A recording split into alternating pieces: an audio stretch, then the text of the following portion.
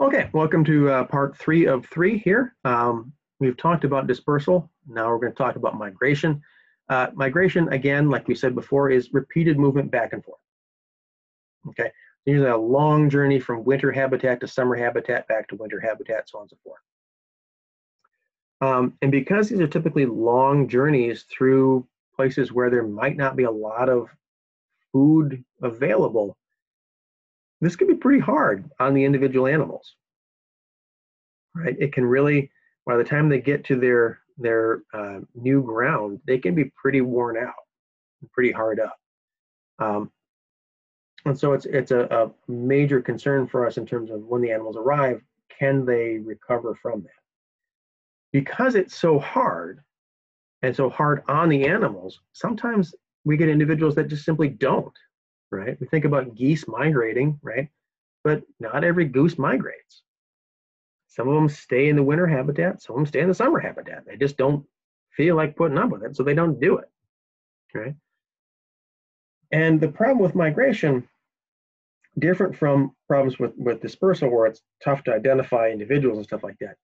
Problem with migration is that these distances are usually so long that they often cross state and or federal boundaries right? Uh, we talked about monarch butterflies before. They will often cross, uh, they, well, they do. They cross the border between the United States and Mexico. And trying to manage across a federal border is nothing short of a nightmare.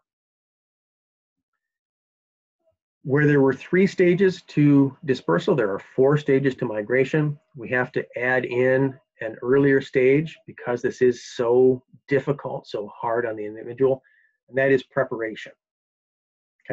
In the months and weeks leading up to the actual migration event, they're going to start hoarding food. They're going to start stockpiling calories in their body, okay? Getting ready to have enough energy to go the long distance. Next stage is movement, okay? Uh, where they go from point to point, right? Now, this movement, because this is over such long distance, this is never a straight straight shot right? You always got to stop off at the uh, at the toll plaza to get get some food and go to the bathroom, right? So we've got frequent stopovers along the way, places where we can rest, where we can eat, okay? Depending on the distance of the migration, depending on the speed of travel, there might be few, there might be a lot of these, but they're always going to occur. And then eventually the fourth and final stage here is arrival, where they get settled in, right? Um, males and or females pick out where they're going to be in the new spot. Um, they pair up and they start again with preparation, but here now preparation for reproduction rather than for the next part of the journal. And then of course they do the whole thing going back the other direction again. Another form of behavior here that ties into the last chapter um, is anti-predator behavior. Um, it's kind of like the most important test you'll ever take right? If you choose the wrong answer, you die, right? Um, and so animals have lots of different ways at which they try to choose the right answer. Um, they can be cryptic, right? Which is to say they, they hide, they get camouflaged. So things like uh, this American bittern, which is a bird, right? Um, they can avoid capture by going immobile. If you've ever startled a deer, uh, or you've ever startled a particularly young of year deer, a fawn, they stand still, right? They freeze up. And the idea there is that if they don't move, they're less likely to be seen. Okay, we talked about vision being important for mammalian predators in particular, uh, but also for birds. A lot of what they're looking for is movement. So if you don't move, you might not be seen. Uh, they also can use refuges, places where predators can't get to. So a lot of birds, for example, will nest on islands, which are hard for um, small rodents to get to, where they would eat the eggs. Uh, what's called vigilance, right? Where one animal watches while the other animals eat or drink or whatever, and they take turns doing that. Uh, living in groups, okay? If you live with 15 of your best friends, right? It's like uh, any of those uh, slasher movies, right? Uh, the, the killer only takes out one person at a time, right? And in theory, at any point, all the other people could get up and they could leave the sun, the, the abandoned summer camp and be safe, they should, they don't, and so they all die. But this is what living in groups is about. So things that flock, they flock because a predator can only take one animal at a time. And it's if there's a whole bunch of you, the odds of it being you is pretty slim. And then sometimes we get things like group defense, where it's not just a passive group activity, um, but if a predator is found, all of the individuals in the group will come, come attack the predator. Um, so if you ever seen mobbing behavior by crows, this is that kind of a kind of a thing. Now, the reason this becomes important is a, a couple of different direct impacts of, of predation on prey populations, right? Obviously, there's the direct demographic impact. You lose somebody if they get eaten, okay?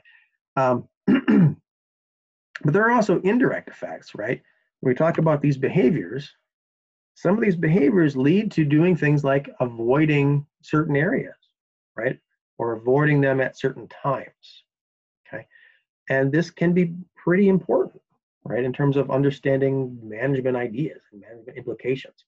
So again, we keep coming back to uh, the reintroduction of wolves in Yellowstone, right? For a hundred years, there were no wolves, and so the the prey items that were there just kind of did whatever they wanted to do, right? But now that there's wolves again, we're starting to see different um, patterns of habitat use, different patterns of activity in terms of, of timing of use of things and stuff like that. Obviously, the opposite would be true also, right? So when we removed all the wolves from Yellowstone, that loss of those predators also changed habitat use and activity patterns, right? Um, and one of the dangers with um,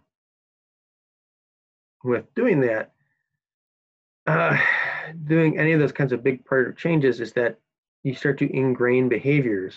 Um, and one of the things we're seeing in Yellowstone right now is that because they were without predation for so long, um, it's been a hard lesson for a lot of those deer and uh, other prey items because they're not afraid of predators. Right? It's like the the dodo, right?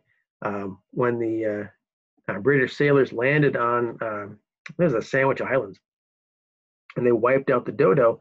They did so because the dodo didn't fear them. They weren't afraid of them. They would walk right up to them, and so the sailors could just club them and eat them. Um, and eventually, they they wiped them all out, right? And so one of the concerns we have with um, reintroducing predators after a period of of no predators being present is that loss of concern and potentially devastating effects on the prey populations. One thing um, that's kind of it's a little bit outside the scope of our of our course, but it's interesting, really, nonetheless, and it's certainly worthwhile talking about. Um, is grouping, is is social systems, right? Why do animals do this? Uh, as it turns out, most animals live in groups at least a little while. They might spend most of the time solitary, but they, they come together to do uh, to do different things. Usually reproduction, but occasionally other things. Um, and this can be, you know, flocks, herds, packs, bands, aggregations, murders if they're crows, you know, whatever. Um, and if you live in a group versus living as a solitary individual, has a pretty big impact on, on habitat use, right? Um, in the sense that if you are group living, wherever you are, you're always in competition with other members of your group. So that can be a little bit difficult. For most social groups, okay, so herds and things like that, um, they live in the same space, but they don't have any social hierarchy, right?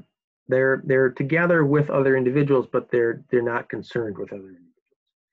So deer, raccoons, squirrel, uh, game birds like quail and turkey, they might live with 20 or 30 other individuals, but they're just out for themselves during that time. Okay. There are some groups that we call communal, where they share space but also duty, right?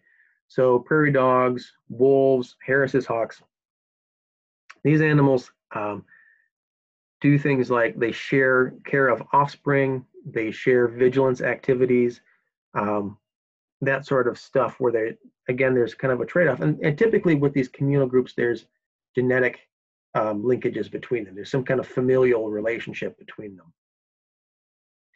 Eusociality, um, which is something we see in bees and wasps and ants, uh, where there's like a worker class and a reproductive class. We don't know it really in vertebrates. We only ever see it in one thing, uh, the naked mole rat. And even then, it's a little bit questionable.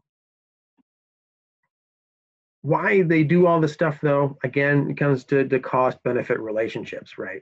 Um, survival and reproduction both tend to get easier if there's more individuals, okay? Um, for a variety of different reasons, right? Um, if there's more options, there's more mates, right? Um, if there's more options, there's also less likelihood that you're going to mate with a cousin, right? So we avoid inbreeding. Um, if there's a hundred pairs of eyes, you're more likely to find a predator, right? All this kind of stuff.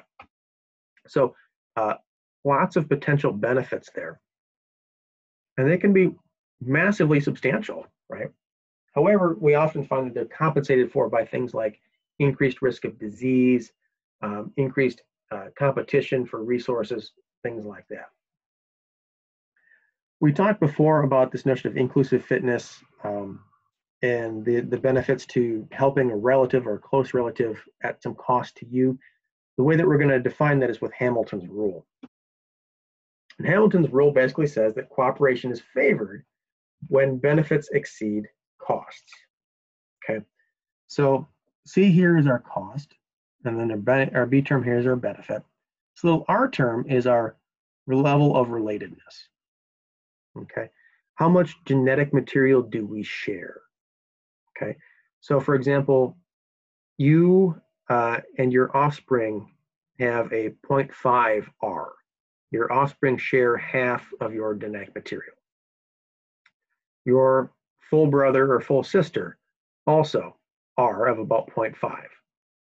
Your grandchildren, because they will have a quarter of your genetic material, have a R of 0.25. Your nieces and nephews have an R of 0.25. So you can see here that the closer the relation is, the higher the R. And the higher the R, the more likely you are to do something that's costly to you but beneficial to your relative. So again, here we I, one of the take homes from this is that you only ever see cooperative behaviors or non-selfish behaviors in situations where relatedness is known, okay, and relatively close. If you don't know how another animal is related to you, you're not going to help them. Okay. All right. So that does this for chapter 14. Uh, we will conclude uh, with chapter 15, and then we'll have an exam, and then we'll move on to the last unit of the course.